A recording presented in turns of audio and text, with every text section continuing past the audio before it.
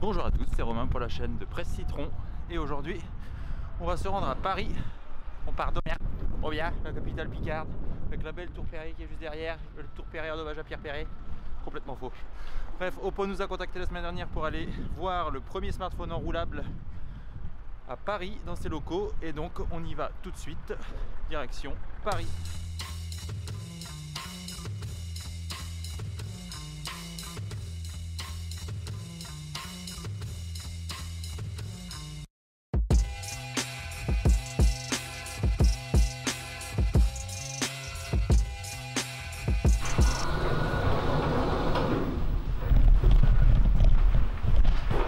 Salut ma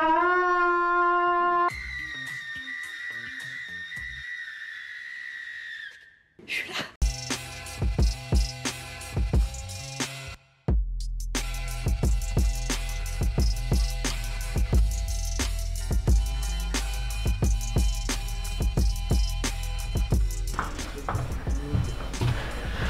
Et nous sommes arrivés chez Oppo pour découvrir le Oppo X 2021.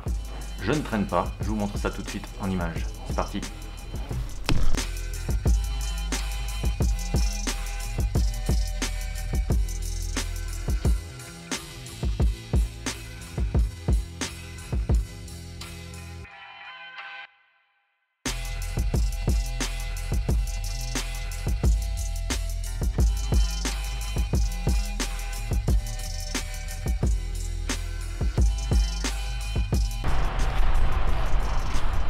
Et voilà, on sort de chez Oppo, on a découvert le Oppo X 2021, ce fameux smartphone enroulable.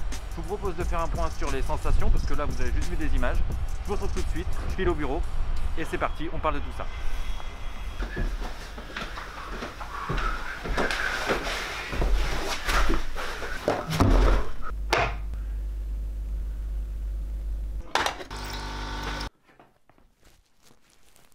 Bon alors comme vous l'avez vu sur les images précédentes, on a découvert le premier smartphone avec écran enroulable. L'Oppo X 2021, déjà présenté en Chine en novembre dernier. Alors après les belles images, on va expliquer un petit peu comment tout ça fonctionne. Alors cet Oppo X 2021, il repose sur un écran flexible, forcément, une dalle OLED. Alors le mécanisme qui va permettre d'enrouler et dérouler l'écran... Il repose sur plusieurs centaines de brevets. Attention, la dalle n'est pas fabriquée par Oppo. En revanche, le mécanisme, lui, est bien une innovation du constructeur chinois. Oppo a développé un mécanisme qui repose sur deux moteurs logés dans la charnière de gauche et l'écran, lui, va s'enrouler sur un système de petites plaques qui sont disposées comme des chenilles, un peu comme ce qu'on voit sur les chars d'assaut par exemple. Et ces chenilles vont s'enrouler et se dérouler pour permettre d'étendre ou de réduire la taille de l'écran. Pourquoi il y a un tel mécanisme qui a été mis en place? Tout simplement pour protéger l'écran et le renforcer afin qu'il résiste aux manipulations des utilisateurs. Pour déclencher ce mécanisme, il suffit soit d'appuyer deux fois sur le bouton d'alimentation qui est positionné sur la tranche droite, soit de glisser le doigt du bas vers le haut à partir de ce bouton pour étirer l'écran ou du haut vers le bas, toujours en glissant sur ce bouton pour le réduire. On peut alors passer d'un smartphone de 6,7 pouces à une tablette de 7,4 pouces. Et comme vous le voyez sur les images, tout ceci s'effectue avec une grande fluidité, sans aucun à-coup et avec une interface qui s'adapte automatiquement à la taille de l'écran. Alors sur ce concept, Oppo a intégré une version exclusive de ColorOS qui n'est pas du tout une version finale mais qui permet déjà d'entrevoir ce à quoi on pourra accéder avec ce type de smartphone. Par exemple, eh l'interface, je viens de le dire, s'étire de manière très fluide. Et puis, il y a aussi des optimisations qui ont été faites sur les applications maison. Par exemple, dans les paramètres, lorsqu'on passe du format smartphone au format tablette, il y a un menu qui va apparaître sur la gauche et qui va permettre de mieux naviguer dans les paramètres pour faciliter l'utilisation. Mais on peut très bien imaginer une telle application sur d'autres programmes du constructeur. Par exemple, dans les emails, on peut très bien imaginer ouvrir un email en mode smartphone et puis lorsqu'on les tire, voir la liste de ces emails sur la gauche. Pour le moment, il n'y a que quelques applications du constructeur qui fonctionnent, forcément, puisque les développeurs d'applications tierces n'ont pas encore accès à cette technologie, mais on peut imaginer qu'à l'avenir, tous les développeurs pourront adapter leur application à ce type d'écran. Alors vous l'avez vu, la transition est vraiment fluide sur l'interface, c'est même impressionnant franchement. Les images sont déjà époustouflantes, mais en réalité c'est encore plus impressionnant. Lorsqu'on l'utilise en navigation web ou pour regarder des vidéos par exemple, on n'a pas tout à fait le même rendu. Sur la navigation web, il y a un petit temps de transition lorsqu'on déroule le smartphone. Le contenu commence d'abord par s'étirer, puis il s'adapte au format de 7,4 pouces. Alors ça démontre bien que la technologie n'en est qu'à ses prémices. D'ailleurs, Oppo est tout à fait conscient de ça et le reconnaît volontiers. Ce concept ne sera pas commercialisé en tant que tel pour plusieurs raisons. D'abord parce que la production de masse est trop compliquée pour le moment. Ensuite, parce qu'il y a encore beaucoup de défis d'ingénierie à relever. Et surtout parce que le prix d'un tel produit serait faramineux et ce n'est même pas envisageable pour les distributeurs de le proposer à leurs clients. Alors pourquoi Oppo développe un smartphone enroulable et pas un smartphone pliant?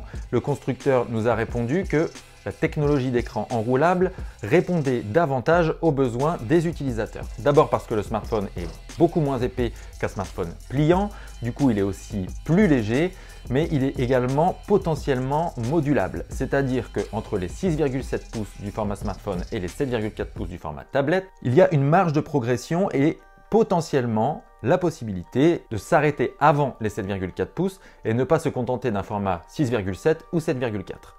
Je m'explique, les ingénieurs d'Oppo sont en train de réfléchir et même de développer un système qui permettrait à l'utilisateur d'arrêter le déroulage de l'écran à un certain niveau, par exemple 6,9, 7, 7,1, pour s'adapter au contenu affiché. Et même au-delà de ça, on peut imaginer que l'écran détectera tout seul le format le plus adapté au contenu affiché. Si vous regardez une vidéo, par exemple, il peut s'arrêter au format 16 neuvième, plutôt que de s'étirer à un format qui n'est pas adapté à la vidéo et où on voit de grosses bandes noires, comme c'est le cas par exemple sur les smartphones pliants.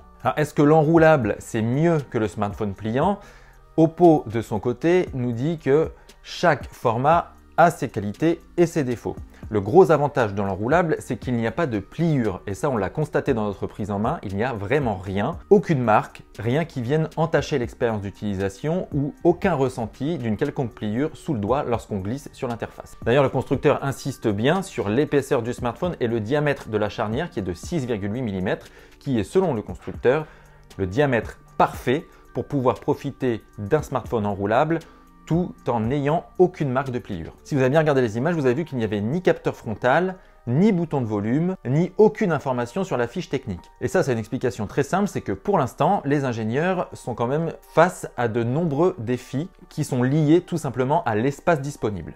Et ça, c'est pour l'instant une des limites du smartphone enroulable. En réalité, le mécanisme de smartphone enroulable, il va se positionner tout autour du téléphone, du châssis, et tous les composants vont être intégrés à l'intérieur. Donc il y a beaucoup de défis en termes d'espace, quelle taille de batterie, quels composants intégrer. Il va être difficile de faire des choix. Est-ce qu'on met un capteur frontal? Est-ce qu'on attend un capteur frontal sous l'écran? Est-ce qu'il y aura assez de place? Est-ce que la batterie qu'on va pouvoir intégrer sera assez volumineuse pour pouvoir alimenter à la fois le smartphone, le grand écran, mais également les moteurs qui vont permettre d'activer le déroulage et l'enroulage. Donc tout ça sont des défis de taille pour les ingénieurs qui vont nécessiter encore des mois, voire des années de développement pour avoir un produit fini. Mais en attendant, ce concept d'Oppo X 2021 est une belle vitrine technologique pour Oppo qui permet aussi de montrer ce à quoi ressemblera le smartphone du futur. Donc oui, pour le moment, l'Oppo X 2021 est un concept qui est vraiment impressionnant. Franchement, l'avoir en main, c'est quelque chose d'assez extraordinaire. C'est même pour ça aussi qu'en tant que passionné tech, on fait ce métier. C'est vraiment quelque chose de bluffant. C'est pour découvrir ce genre de produit. Mais pour l'instant, ce n'est pas un produit fini. Donc en attendant, Oppo dit même qu'il va s'intéresser quand même au smartphone pliant, que ce modèle enroulable en soi n'est pas un choix stratégique, mais plus une piste d'étude et une vitrine d'innovation. En tout cas, nous, on pense vraiment que le smartphone enroulable, c'est le smartphone du futur qui répondra le plus à nos besoins en termes d'utilisation et de mobilité. Mais ça, c'est que notre avis et je vous invite d'ailleurs dans les commentaires à nous dire si vous préférez plutôt le concept de smartphone enroulable ou le concept de smartphone pliant et bien sûr de nous dire pourquoi. Voilà, cette découverte de l'Oppo X 2021, le premier smartphone enroulable, est maintenant terminée. Merci à tous d'avoir regardé cette vidéo. Vous pouvez bien sûr vous abonner à notre chaîne et cliquer sur la petite cloche pour recevoir une notification dès qu'une nouvelle vidéo est disponible. Encore merci à tous pour votre fidélité. C'était Romain pour la chaîne de Presse Citron.